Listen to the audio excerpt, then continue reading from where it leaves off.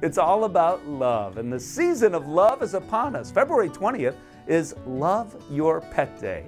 I've been an animal lover and advocate now, dare I say, for decades. We've learned a lot about the ways we can show our pets how we love them.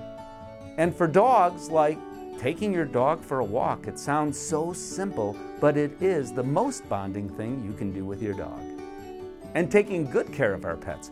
Uh, listen, I'm sure most of us think we are taking good care of our pets, and to a degree we are, but not if you don't see the veterinarian for regular preventive care exams or checkups.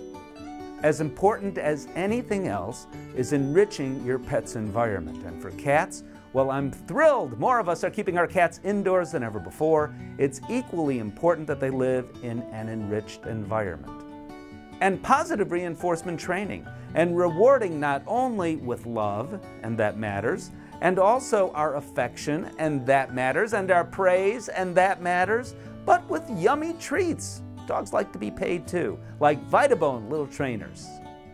All those things show that you love your pets, and of course, your pets appreciate your love. They know you love them. But at the end of the day, what your pet really wants is to simply spend quality time with you. I'm Steve Dale.